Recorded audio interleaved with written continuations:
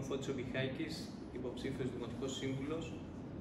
Η φιλοδοξία μας δεν είναι να σπάσουμε, όπως είπε πριν, το αντιδημοκρατικό όριο του 3% του νόμου Φορίδη, που επιχειρεί να εξαφανίσει από δήμους και περιφέρειες τις ενοχλητικές φωνές, αλλά αυτό που θέλουμε να κάνουμε είναι να εκφράσουμε την πλειοψηφία της πόλης, που ασφικτεί από το γεγονός ότι τα Χανιά έγινε μια πόλη αφιλόξενη για τους κατοίκους της και φιλόξενη για τους τουρίστες που τα ενίκια είναι εξωπραγματικά, που γίνονται εξώσεις μακροχρόνιων μισθώσεων για να γίνουν Airbnb, που νεοδιόριστοι και αναπληρωτές εκπαιδευτικοί, επικουρικοί γιατροί κλπ. Το μεγαλύτερο πρόβλημα που αντιμετωπίζουν είναι αυτό της στέγης.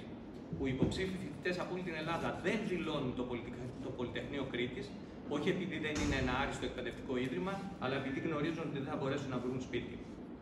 Ο Δήμος, αυτό που ξέρουμε εμείς, είναι ότι είναι ένα σύνολο κοινωνικών υπηρεσιών που έχει κατακτήσει η ελληνική κοινωνία σημαίνει ότι έχει παιδικές χαρές, παιδικούς σταθμούς, βρεφονιπιακούς σταθμούς, βοήθεια στο σπίτι, αθλητισμό, δομές αστέγων, δομές τοξικοεξαρτημένων, καθαριότητα, πράσινο, πάρκα, ε, γυροκομείο, ξενώνες φιλοξενίας κακοποιημένων γυναικών, κοινωνικούς λειτουργούς, σχολεία, ε, νηπιαγωγεία και συντήρηση όλων αυτών.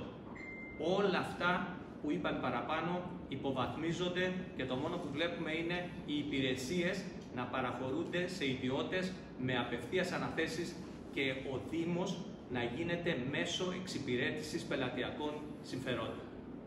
Αυτό εμείς θα το σταματήσουμε.